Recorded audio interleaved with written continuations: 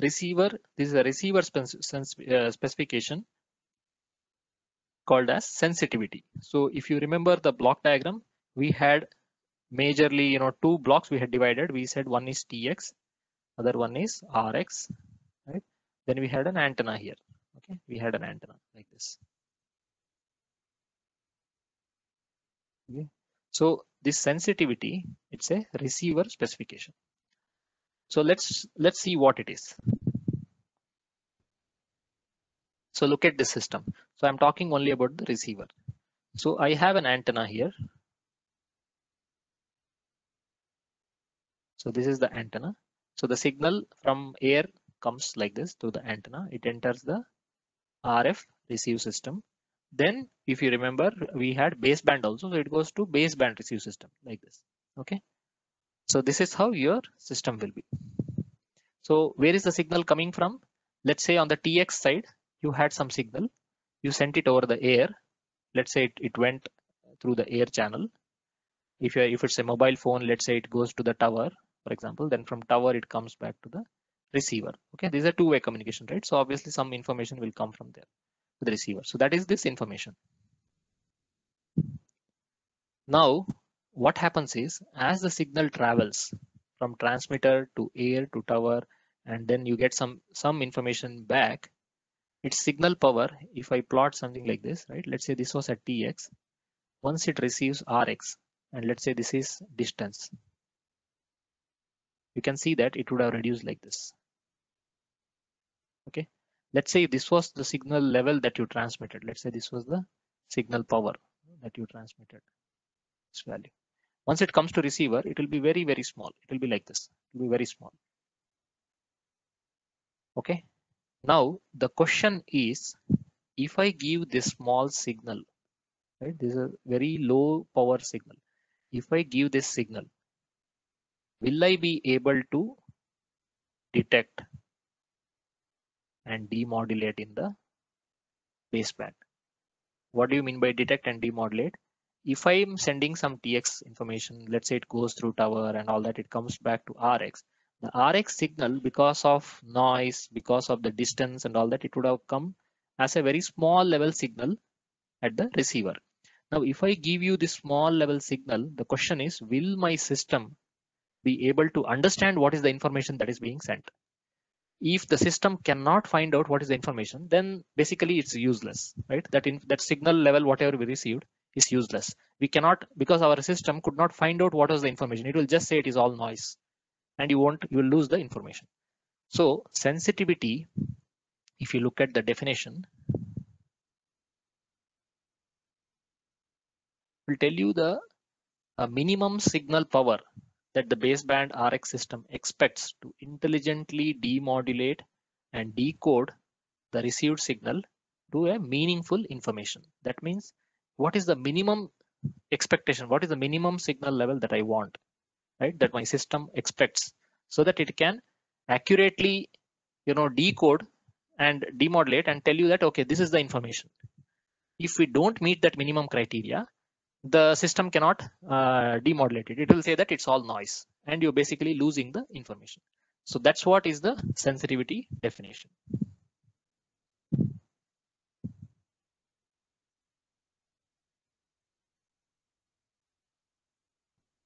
So this implies baseband RX system specifies what signal it requires. That means who decides uh, what is the minimum signal required. For example, baseband can, for example, tell you, okay, if you're a baseband designer, you will say that, okay, this is the minimum signal level that I want.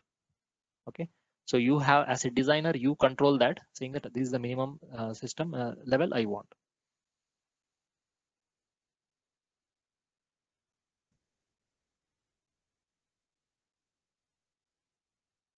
Okay, what is the specification? This is called as expected SNR or minimum SNR. Now, when we talk about mobile phones in 4G or 5G, I cannot randomly choose this number. So I told you about the 3GPP, the standards body, okay? Or if you're talking about wireless LAN Wi-Fi, then there is IEEE, right, standards. So always these standards will tell you what is the minimum expected signal? that is required.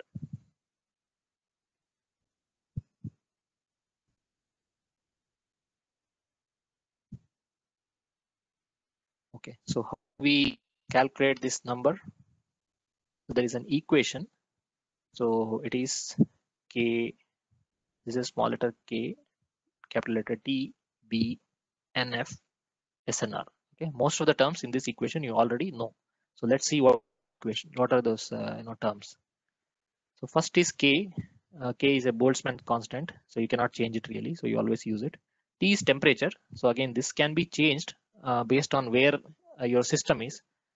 So if you're operating in the lab or if, if a typical mobile phone application, this is the number.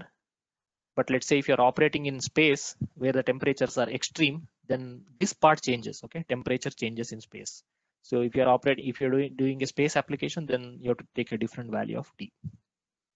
Now K is a Boltzmann constant. So typically K, T together, the reason they are being used is every electronic device, as I told you, it generates its own noise.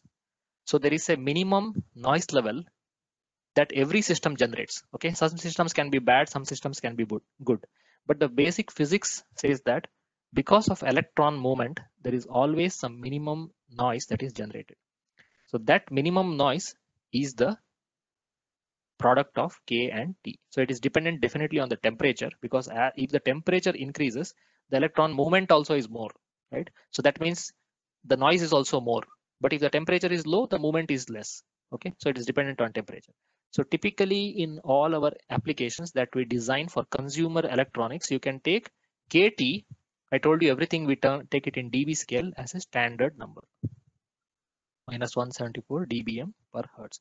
It's also called as noise floor because as I told you, this is the minimum noise that every system generates. You will see this minimum noise. You cannot remove it. It is always there. Okay, so that's why it's called as noise floor.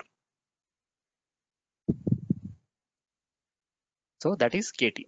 What is the second term that we discussed? This is bandwidth. So as I told you, we always operate within a bandwidth. We don't operate on an infinite range of frequencies. We have to operate within a band or a bandwidth. Okay, that is a bandwidth. What is noise figure? So we discussed about noise figure. Noise figure tells you how much noise is added by a system. So there is noise floor. This is the minimum noise. Then your system is not ideal. It's not a perfect device, right? It adds its own noise and that noise is noise figure. Okay. Finally, there is something called as SNR expected. What is SNR expected? That means the baseband input, for example, it will tell you, I need this level of signal to noise ratio. Okay. Without this signal to noise ratio, I cannot detect the signal. So this is this is the bare minimum. So using this bare minimum, you calculate the minimum signal power.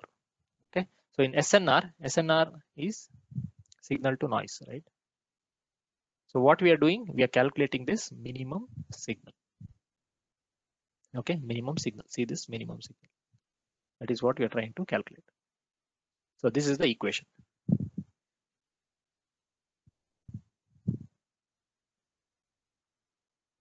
So it's not it's not the job of only you know antenna or the RF system or baseband system. All three systems have to work together to achieve this target.